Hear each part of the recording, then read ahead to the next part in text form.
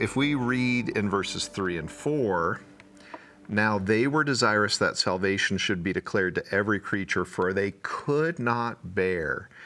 That changes mm-hmm. the way we interact with each other. They could not bear that any human soul should perish. Yea, even the very thoughts that any soul should endure endless torment did cause them to quake and tremble.